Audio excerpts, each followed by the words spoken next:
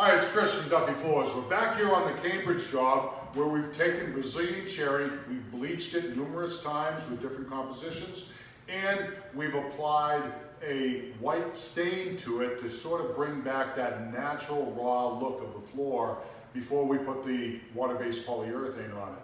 So as you can see here, it's really, we've gotten all the red out here. It's really a white, grayish. There are some greens in here a little bit, but uh, in browns, there's not a whole lot of red in here, and the floor looks very natural, like it was just sanded. So if you've got some wood floors, especially Brazilian cherry floors, that you want to take the red out, we can help you do that. Give us a call at 781-395-3418 or go on my website to Ask the Expert page and there you can book a consult with me to go over the process, procedures, and products that we use to achieve this look. This is Chris from Duffy Floors. Remember my website, duffyfloors.com. I'll see you next time.